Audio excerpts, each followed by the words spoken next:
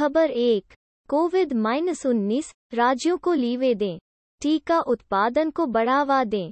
मनमोहन से पीएम, खबर दो, बिहार में रात कर्फ्यू, स्कूलों, मॉल 15 मई तक पूजा के स्थान बंद, खबर तीन, तमिलनाडु नाइट कर्फ्यू समय, टीएन ने नए प्रतिबंधों की घोषणा की, खबर चार एम्स प्रमुख ने प्रभावी ढंग से कोविड से लड़ने के लिए इन तीन कदमों का सुझाव दिया।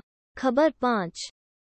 दिल्ली वीकेंड कर्फ्यू का विस्तार करने की संभावना कोविड बढ़ाने के बीच।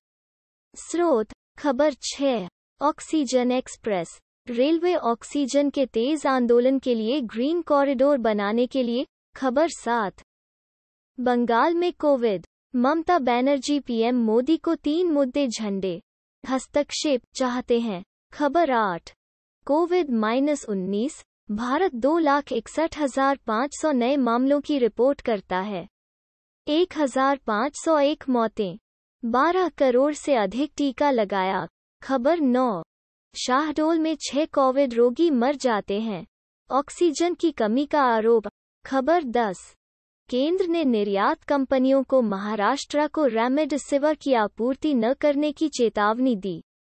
एनसीपी के नवाब मलिक का आरोप लगाया। Dot automatically generated